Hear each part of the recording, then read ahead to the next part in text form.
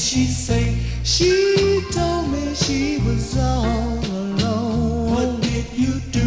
Got a ticket on the very next train. Going where? Going home so I could explain why I was a thousand miles away that day when she needed